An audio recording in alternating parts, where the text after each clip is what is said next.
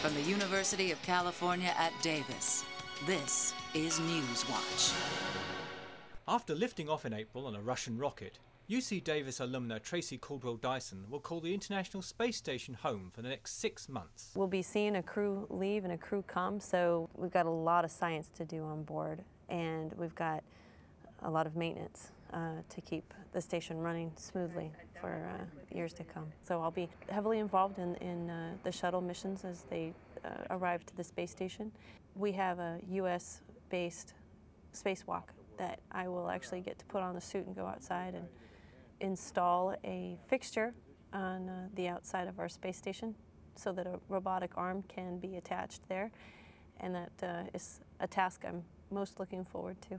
Caldwell Dyson decided to be an astronaut at 16. And I do remember one moment in driver's ed thinking about this.